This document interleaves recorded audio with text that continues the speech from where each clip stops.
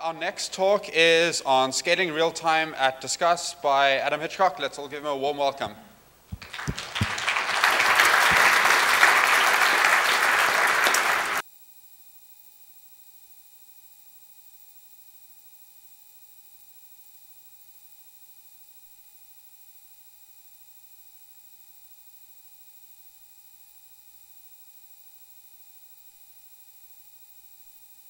But onto the talk. Uh, so I'm an infrastructure engineer at Disqus, so that means that I need to make things work uh, at scale and uh, constantly scaling things.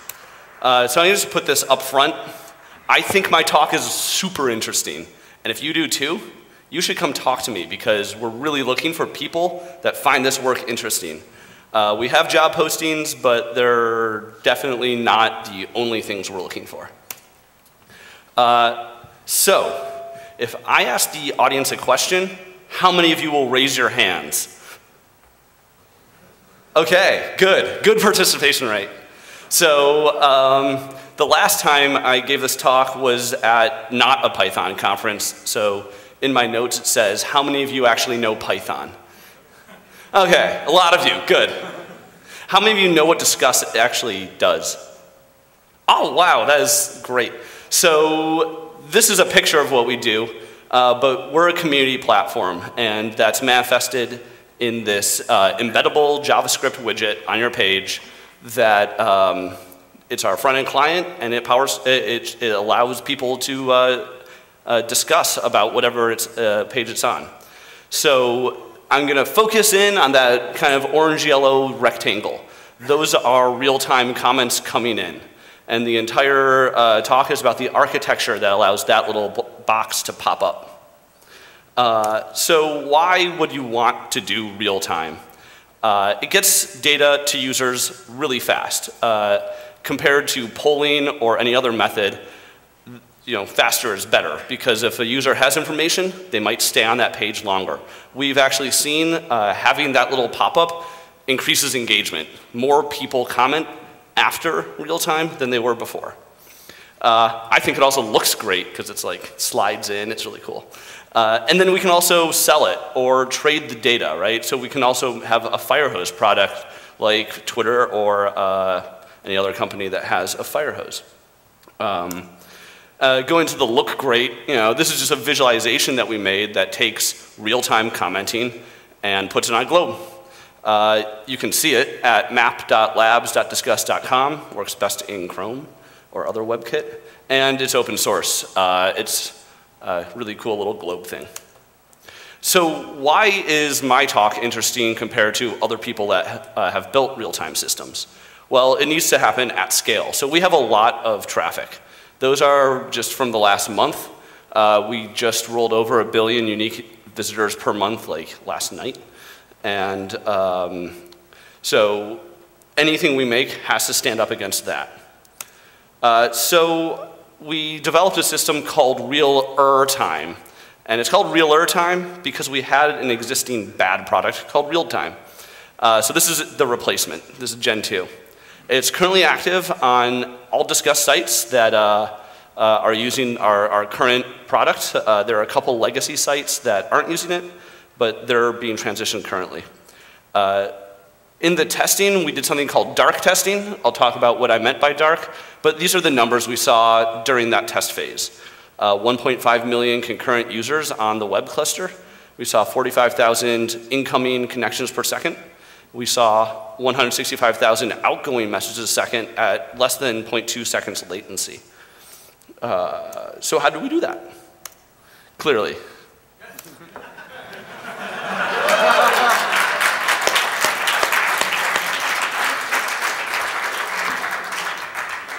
Disqus is almost entirely written in Python. Our core technology, most of our products is a Django app. The natural choice when doing anything is always Python first. Disqus is not built using or, or, into our Django app. It's a separate Python service, but it is Python. Uh, and some other stuff. It's not 100% Python. Uh, we don't like building everything from scratch because we're a small shop. We're 18 engineers right now. And uh, in order to keep that, those numbers, uh, that scale that you saw earlier, we need to use other off-the-shelf technologies. So more audience participation. Who knows what Redis is? What about Redis PubSub? Oh, wow, that's the first time it wasn't everyone. All right. Uh, Nginx. You guys are great. What about Thoonk? Oh, like one person. Great. Okay. I actually have something to teach you. So yeah, these are all off the shelf. Uh, and we, oh, and long polling. Who knows what long polling is? As like everyone. Okay, most of you. Hey, cool. So quick architecture uh, overview. The, this was the old real-time system. Uh, Django would, or the Disqus app would post to Memcache on a key, and then the front-end client would pull that key every couple of seconds. And if there was a new thing there, uh, we would display it in the, in the client. And this was not good because it just did not scale at all. It was about 10% of our network could, could actually use the product.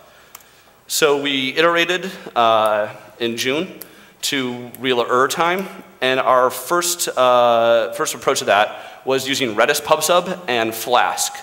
Uh, Flask was also then behind HA proxy cluster uh, to make sure that something would uh, buffer those millions of connections.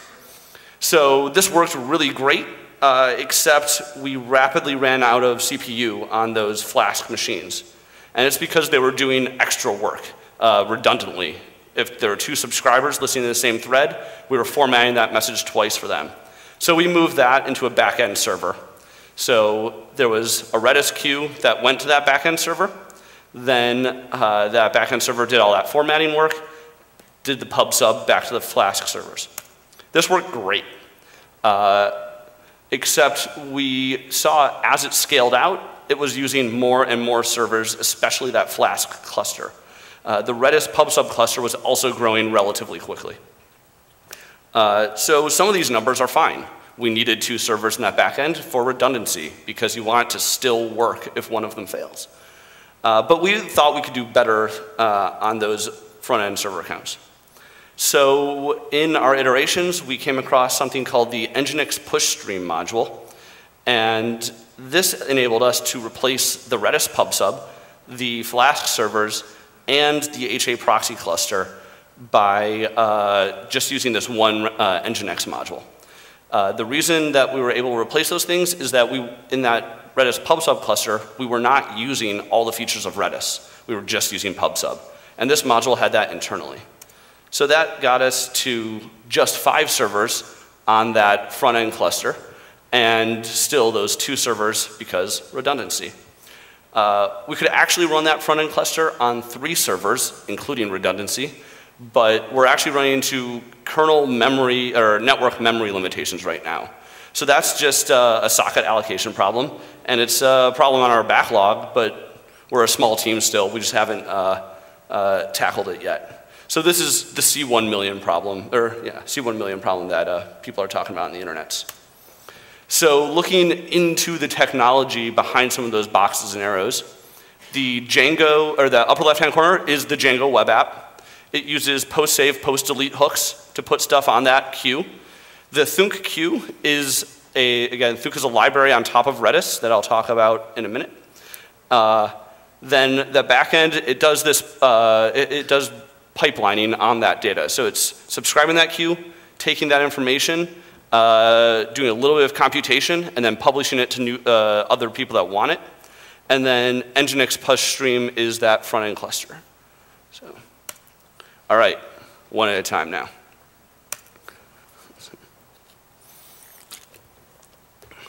So again, it gets, the data gets in using Django post save and post delete hooks. They're awesome for notifications of real-time data. If you're using uh, Django already, you can just say, hey, I, on post save, or when you save a model, push it to a queue.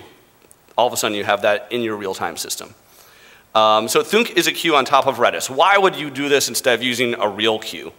Uh, well, I didn't really choose it. It chose me because I already was using Redis PubSub and I didn't have uh, uh, the time to spin up an actual a high availability cluster of Rabbit machines. So I was like, oh, I've already got this, I can do it. It's really great because it's also implemented as a state machine, meaning when you put data into the system, uh, you can really see, oh, what jobs are claimed, what jobs are not claimed, uh, what do I want to do with those jobs. Uh, so when my code crashes, because that's the most likely part to crash of the system, the, it was super easy to resume or clean up after itself. Something that's also great is because it's on top of Redis, and it's uh, using zsets to store that information, you could do range queries over your queue. So this is super great when I wanted to implement end-to-end -end acking. I really wanted to guarantee every single message was published.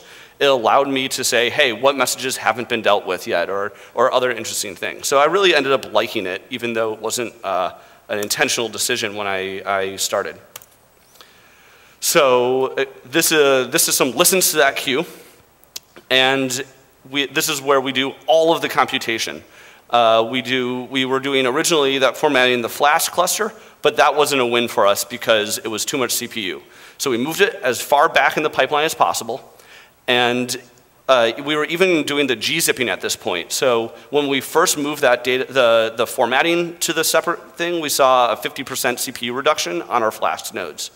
And then when we moved gzipping back to here, we also saw an additional 30% reduction of CPU. We ended up removing the gzipping altogether because you're gzipping individual messages in our real-time system, and there's just not enough redundancy in one of those to get a lot of compression out of it. So uh, we, we ended up dropping that altogether. Uh, originally, when we were doing the uh, the Redis pub sub, we also were just publishing to just tons of keys. We said, how many keys are available in this message? So we said, oh, we've got tons of foreign keys, foreign IDs. So we have like the forum ID, the thread ID, the user ID, the post ID. And we just published to all of them because, hey, maybe someone in the future might find this interesting. And Redis PubSub and PubSub in general is basically free. You can just throw tons of messages at it. And it allows for innovation later because it's never like, hey, can you add this feature? It's like, oh, hey, I just published to everything that I could. So yeah, it's already there. Go wild, innovate away. And so people have really liked that in the company. Uh, that backend server is gevent. gevent's the best thing ever. I love it. Uh, it really lets you write code that's easy to read and that code uh, runs super fast uh, when you have a lot of I.O. And this is an I.O. bound system. So these are just some libraries I wrote. Uh, that uh, really helped manage those, those greenlets because we had hundreds of thousands of them. And so the top one, the watchdog, basically makes sure a greenlet is always running, and the bottom one, make sure it's always running unless it's failing really fast. So uh, then raise, a, raise an exception of some port. Um, and I don't know if you guys can see the, the link, it's kind of dark gray, but uh, the slides are online, and I posted the code for these things uh, there. In that backend, we did the, the way that we modeled it was composable pipelines. So the idea was that we had certain stages that the data had to go through. We had the parsing stage, we had a computation stage, and then we had the publish it to another place stage. So this is kind of a toy example of the pipeline we used, but whenever we got a message in, we called that handle function in its own greenlet, but you'll see that there's a bunch of not implemented exceptions there. Uh, what, what, what did we do with those? So we had a bunch of mix-ins for each of those stages. So we kind of, so there's just an example, a JSON parser, uh, we use JSON a lot. Um, anonymize the data by returning empty, or some super secure encryption by ROT13ing it. Uh, or publish that to a file or an HTTP endpoint, right? So when we compose those, we end up getting the ability to take a message in off of Thoonk and publish the, and run that through multiple pipelines because most of the time the pipelines are only different a little bit. Uh, so we were able to uh, kind of make these different examples here. So the reason this is really great is that if you are bringing up a new feature but you need to maintain an old feature, you can just make a new pipeline stage put it in, uh, compose it in, and then you can have two of those pipelines running side by side, and you can stand up your new feature and stand down your old feature, eventually removing that unused code. The thing that's also awesome about this is the tests are also composable. So if you're testing each of these mix-ins individually, in order to test the full pipeline, you mix those test classes in just like you do uh, for, the, for the actual data pipeline. And now, fully tested pipeline by just writing like six lines of code instead of tons of tests. Um, I also like this because it's super easy to reason about each of these mixins individually. It's really easy to understand like something that parses JSON or does this one step. And it's much harder to take a new engineer in and say, hey, here's this super long thing of code that you have to understand, and we're going to change it, so we're going to like copy it all or subclass it, and that, that just gets uh, less maintainable. Um, so this was something that, that I thought up, and it might be a horrible idea. I don't know. I want to hear your thoughts on it. Uh, so this is actual Disqus code that uh, powers, so the top one is the pipeline that powers the map uh, that I mentioned earlier. And the bottom one is something that powers uh, a reliable acking uh, front-end endpoint. So it's, uh, we, we have customers that have to have reliable data uh, receipt. So that one powers that. And they're mostly the same, but uh, just a little bit is different between them and it was super easy to write them. So what's this magic that got us down to five servers? Uh, it's called Nginx Pushstream. Uh, one of our DevOps guys loves to humble brag about how awesome our Nginx clusters are. So if you like Nginx and performance, follow him, and you'll constantly hear how many concurrent users we're getting.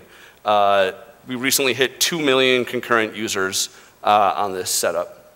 And all of the code I'm about to show is available at that link right there. So again, why is it great?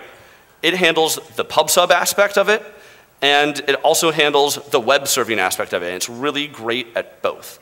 Uh, so it's currently turned on for 70% of our actual live network. And uh, this week we're ramping that up to 100. We've seen peaks of 950,000 subscribers per single machine. And that was an accident. We had a DNS routing error where it was all going to one. But hey, it stayed up through it.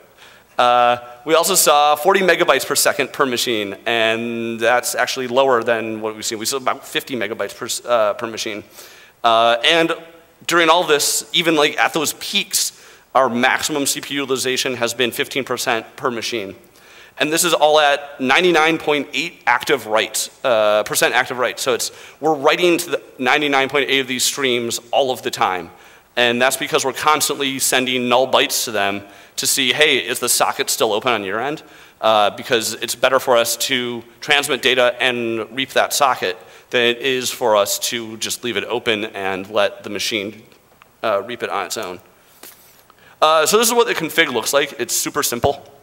You define a publish endpoint and a subscribe endpoint, and then you tell each one of those how is it that you're going to give it the information. So in that top one, the arg channel is saying, hey, use the query parameter channel whenever a publish message is coming in, take the data that's posted, publish it on channel query parameter. And that second point is saying, hey, whenever anyone hits this web, uh, this location, uh, sub slash uh, regex and another regex, take those, put a colon between, and that's how we're going to define our channels for subscribers. Uh, so that's very similar to how we do it in production. Uh, top is how you actually listen to channels, and the bottom is how you would actually post to specific channels. Uh, and again, post to all the channels because it's super awesome. The only reason I could make that awesome map is because I had all of this extra data that I could look at. Um, let's see. It also has awesome measurements built in. So you can use this push stream status endpoint to get information at aggregate or individually. Uh, I'm going to talk about why measuring is super important later. Um, so in the client, the client needs to read this data. This was the original code. Uh, this is using the on progress callback of uh, XHR request. And uh, this was uh, one of our engineers, Barak's idea. So he's gonna be talking about this stuff at HTML5 conf if the JavaScript end uh, interests you. Uh, but we're actually currently using WebSockets on most of them because WebSockets are fast. But we're moving to event source, which is super awesome. It's actually making the web browser you, uh, manage that. So instead of in JavaScript managing uh, async requests, browser handles everything, and you just register what's the message type that I have, and what is the, um, what's the callback I actually want to call in order to, uh, to, to see that data. All right. So when we tested it, we tested it uh, in a manner that I call dark testing. So Disqus is installed on millions of websites. uh, and I needed to simulate millions of concurrent connections. So what's the, uh, there's no better test harness than my existing network. If I made one and threw it up in EC2, I would in no way be able to uh, model my network as well as the network itself. So we actually put uh, code in every uh, client uh, that, that was of the old system to uh, be able to load test the, the, the cluster. And we did this with lots of knobs and switches, so we could say, I only want 10% of users, or exactly this website. Uh, and this was super awesome. So we were able to throw that 1.5 million uh, connections at it using our existing uh, install base. Um, then we also had darkest time. So it's super important to understand uh, your use cases when uh, doing your load testing. We have the use case of everyone is kind of reading the news, it's a normal day, and then holy crap, something really big is happening in the news, and there's a couple websites that are getting mega traffic. So darkest time was when we took all of the, the load test and we threw it to a single thread, uh, a single um, key in our, our uh, subscription system. And this really helped us find a lot of hotspots that would have definitely crashed the system. Um, measure everything because in a pipeline system, if you're just measuring input and output, uh, those numbers might be wrong. So you want to measure input and output between every stage because when the code that I wrote is saying there's 150 million concurrent users, but HA proxy says there's only 1.5 million, I'm going to believe HA proxy instead of me. And so it's really important and you can really drill into where those errors are immediately. Uh, if you can also express your metrics as plus ones and minus ones, that's a huge win in distributed system as well. Because if you just have five systems and they're all saying, I've got about 50, it's really hard to uh, combine those. Um, I also uh, write bad code, and Sentry really helped me find those exceptions. It's a really great product written by one of our former employees, and uh, just check it out. It's really great for like, where's the problem? Uh, so, because I measured things, I have pretty graphs. Because, you know, graphs are cool. So this was actually when I was writing my slides the other day. I was like, oh, I need to find some average traffic of this. So I usually go for the last 24 hours, and it was not average. Uh, so that first spike is when the white smoke came out of the Vatican. And that second spike was when they actually said, oh, it's Francis. Uh, so that peaked at 245 megabytes a second, which is like, this is in bits a second, so it's like 196 bit, uh, megabits. And we saw over six terabytes of data transferred that day. And our peak CPU was 12%. Uh, and because I'm bad at maths, this is Google saying that it was 245 megabytes. Uh, but it's actually been a busy few weeks.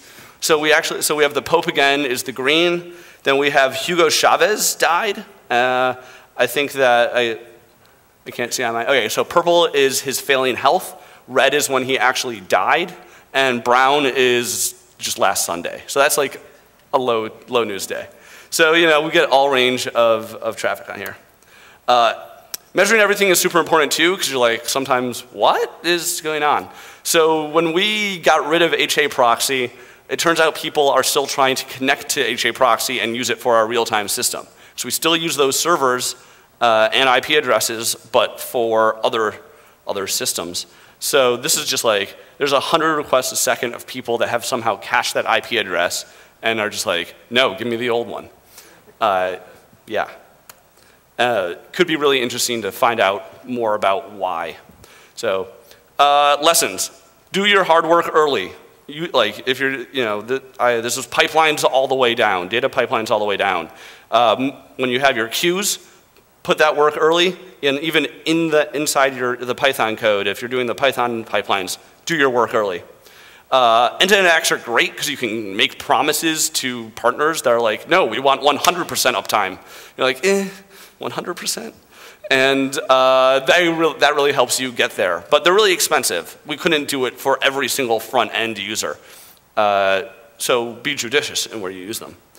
Um, let's see. And again, PubSub is free. Just like abuse it. And Greenlets are free. Just like use Greenlets. If you're using Eventlet or gEvent, just like they're awesome. And they make your code so much easier to read. Uh, it's the best thing ever. Um, let's see. Hey, if this was interesting to you, I'm still hiring, so come talk to me. Uh, I would like to thank everyone at Disqus because I feel that I only had the opportunity to give this talk because they had interesting scale, uh, not because I'm necessarily the smartest person. Uh, Jeff, he reviewed literally every single line of code for this, so thank you. Our DevOps guys kept it up. They're awesome, uh, especially John, who made it way more efficient by discovering that module. Uh, here are links of all the things I talked about. So look at the, oh, I didn't talk about scales. Scales is how I do my metrics. It was by Greplin, who is now Cue, I think. And it's a kind of uh, clone, if you've seen Coda Hale's metrics talk, it's a Pythonic version of that. Uh, it's, it's pretty great. Um, if you don't get to talk to me now, but you still want to talk to me, I'm sitting there. So come find me there. Uh, let's see, we're still hiring. Nothing's changed in the last minute. Um, and now I have questions for you because this is a work in progress. Uh, what is the best kernel config? I, like, I'm not a kernel guy. Our ops guys are too busy to answer this question, so maybe you know. I love gEvent, but this PyPy thing sounds really cool. And gEvent is, you know, it's, it's based on uh, the libev.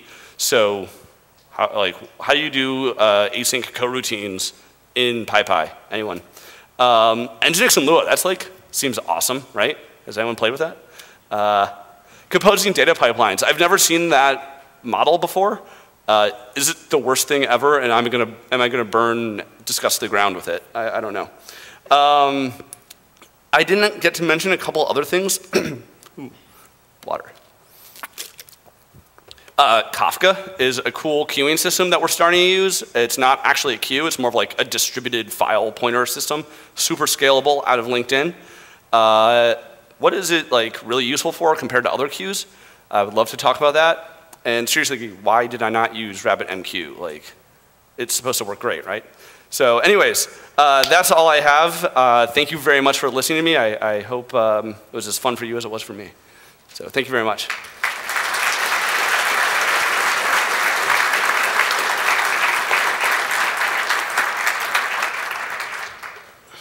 So we have time for a couple of questions. Anyone have any? Um, is this, is, I have a question. Do you ever have memory problems on your Nginx machines? Because you're oh, pushing yeah, to tons. them and then you're spoon feeding the clients. So yeah, um, they're not particularly specialized machines. I think they have, um, so they're, they're, we, we run on raw metal. We don't use EC2, so that's our First caveat. So I think they're eight core machines with 16 to 32 gigs of RAM. Uh, they use a lot of memory, and they definitely have shared memory problems. We do rolling restarts on them over the day, and this is because there's a memory leak in the push stream module. Uh, so, but it's when there's, you know, a couple hundred thousand concurrent connections per process uh, over the course of six hours, there are memory problems.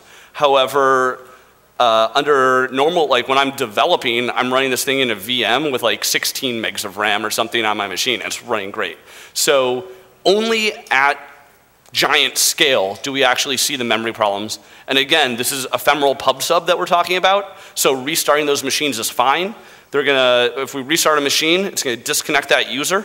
They're gonna reconnect to another machine almost instantly because we're using an event source which, uh, so the browser is going to notice super fast that it, it, disconnected. We don't have to rely on this, on like JavaScript realizing it. So super fast disconnect, super fast reconnect. Uh, most of the time that means they didn't even miss a message. If they did, for us, it's not the end of the world. Uh, but yeah, and if you want to talk more about Nginx stuff, John Watson and Mike Clark will be at our booth later, and they both were the ones that actually did a lot of the tuning on those. Um, I don't know if you could talk about um, security on the, the push stream module. Like, is, sure. is everyone allowed to view every stream, or how do you keep Like Yeah. you authenticate a, a stream? So we, uh, so Disqus's data uh, in general is very available. Um, we're a public, uh, we're a public commenting platform. We don't even support private forums at the, or private uh, comments at the moment. So everything going through that is already available. Uh, we do, however, use origin-based security right now. So it's not very secure. We don't do anything key-based, but uh, it's good enough because we're really just worried about web browsers abusing our system. We're not worried about people getting the data. So we don't want someone to embed this in a million other websites because that would change our load in a model we haven't predicted yet. But if you were to sit there with a curl, it would not be difficult to figure out how to get the data on your own machine. And again, it's public data, so we're okay with that. Just before the next question comes in, uh, I'll let it carry. I'll let the questions carry on. Uh, but if anyone wants to leave for lunch, lunch is uh, in Hall B. Uh, but yeah, I'll let the questions carry on. We'll- So your, your comment page, you display a page and it has some comments already on it, and then more come in. Can you talk about how, how the comments that are already there come in and how you make sure that, that nothing's missed between the page load and then getting new stuff? Sure. The way that, that so I actually know not a lot about this, but if you go to HTML dev or HTML5 devconf, the guys will be there that know a lot about it. That's uh, Barak and Ben, uh, two of our, our JavaScript engineers. So uh, basically, they're just inserting, so they're coming in, and the, uh, either the event source or WebSocket callbacks are occurring, and they're inserting them into the DOM at the top. And the rate of these messages is not so great. Like only on super popular CNN threads or something is the commenting rate so high that um, you know it's like 500 new comments or something. Uh, actually, the, the only times we've seen really bad performance there that people really miss comments is on live streaming events. Uh, one of our launch events was E E3 2012 or something. Uh, we were partnering with IGN's live stream of Sony announcing something.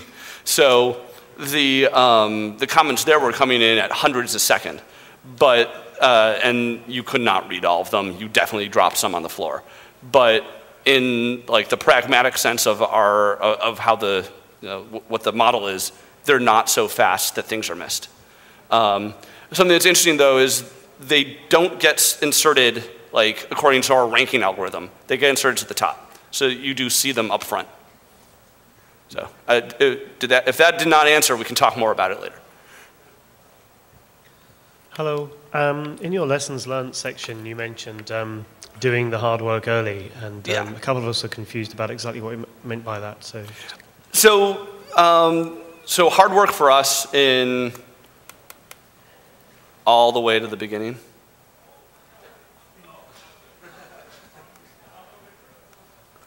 Okay, so going back to these slides. So in, uh, so the, I've not been repeating questions. What did I mean by doing the hard work early? So here in the, the Flask server, um, we were doing, so we're basically getting raw messages. We're taking the, the Django model, putting it on a queue, and then the Flask server is taking a Django model uh, that's been, it's basically, uh, we JSONified the Dunderdict. Um, and we, so we put it over there, and it's, uh, at, at this point, it's like, okay, I've got this Django model, and I'm going to need to do work on this. So one time, sometimes there's missing data, so we actually have to query the database to get that data. Sometimes it's we need to anonymize data. Oh, we have to drop the IP address, and so we take we have a JSON object in. We have to parse that JSON object. We have to do computation. We have to make sure everything's UTF-8. We have to make sure that uh, things are anonymized that need to be anonymized. We have to, it's like a 500 line file that does all these little functions of, of sanitization on these. And then we have to make it viewable by web browsers. So now it has to go back to JSON. So decoding and encoding JSON is a lot of that work. And we were, for every single model going through this system, uh, if again, if it's like a CNN thread and there's 5,000 people listening to it, we're doing that JSON decode 5,000 times, doing that uh, other stuff, like we're repeating it. So the first thing we did was we did that. I was like, oh, let's do this once per server. Let's put make a data pipeline in each Flask server. So we're only decoding that message once and publishing it to all of them internally. I really recommend uh, functools and itertools. There's a tee function in there. It's great. Um, so uh, generators are the best thing ever. So the anyway, so um, we did in there. But then we saw, hey, we can, the, we can even optimize this more by removing it entirely from the Flask server. So we took that work that was hard for us and we just kept on moving it backwards uh, to avoid repetition. Uh, that, that's, what I, that, that's the core of what I mean there. Because this is uh, ultimately a fan out system. You're doing work once and a lot of people are going to see it. Sure. Um, I was wondering if you do anything to make Thoonk queues um, persistent in case uh, Redis fails, or what kind of replication you use for Redis? Okay, so we use uh, fsync right now. It's not super the best. Uh, the way that we handle um, redundancy there is we have we, we write twice from the app. So we have uh, we have a, I think two or three of these machines um, that we uh, do consistent hashing across. And then on each of those machines, we're running two Redis instances. So we're basically writing every message to the location and then location plus one. So uh, if a machine goes down, the message is still there. Uh, it hasn't happened yet. I don't know if it works. So uh, again, it's the most likely code to crash is the code I wrote because really smart people wrote Redis uh, or person and really smart people write all these other things. And I, I'm smart, but you know, I have deadlines. So Thanks. thank you. Cool. We're done then. Okay. Thank you very much, Adam. Thank you.